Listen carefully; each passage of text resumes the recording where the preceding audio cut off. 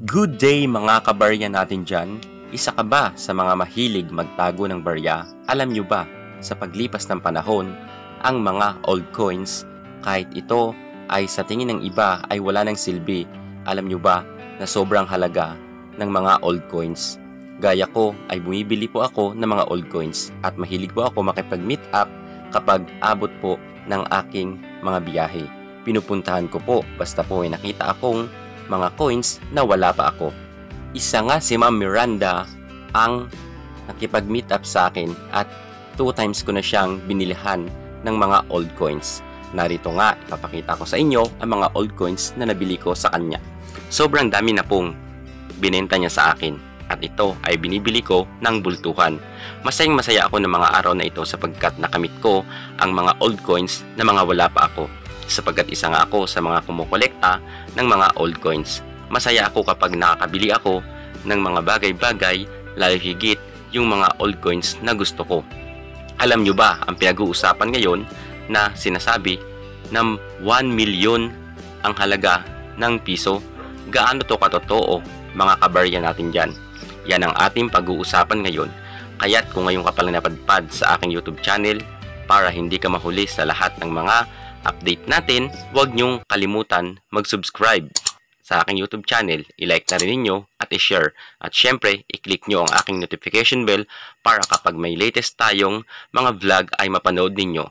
Narito ang buong kwento. Stars.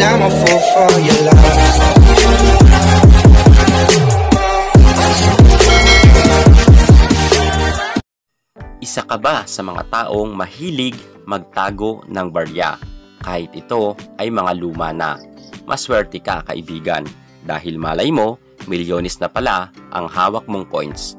Mala controversial talaga ang ating topic ngayon sapagkat pinag-uusapan talaga ang Jose Rizal na color gold di umano ito ay 1 million. Ayon po yan sa mga ulat. At ito ay kumalat noon sa mga social media platform na sinasabi na ito ay nagkakahalaga na pisong ito ay 1 million.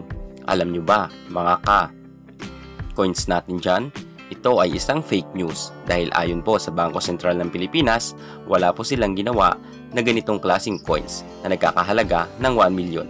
At fake news po ang sinasabi nila na may color gold or may halong ginto ang piso na Jose Rizal na malaki. Ito po ay dati nang umiikot pa at marami ditong naluloko. Kaya't kung isa ka sa mga baguhang kolektor ng mga old coins, mag-ingat ka sa iyong pagbili. Kinakailangan na suriin mong itong mabuti at alamin mo muna kung totoong may ganitong klaseng coins at baka mamaya ay ma-fake news kayo.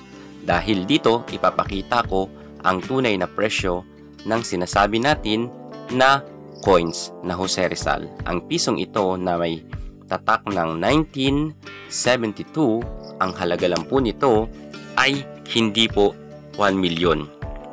Ito ay isang fake news, inuulit ko. Dahil ang tunay na presyo nito ay nagkakahalaga lamang ng $75. $75 nga po. Makikita po ninyo sa atin pong vlog 1972 hanggang 1974 Philippine 1 peso. Jose Rizal, Republika ng Pilipinas Coins. Yan po yung malaking coins na umikot po sa merkado noong panahon natin. Ang halaga niya lang po ay 75 dollars. I-times po natin sa 55 dahil ang dollars po ngayon ay 55. Depende nga po yan sa palitan ng dollars kung magkano ang palitan sa peso.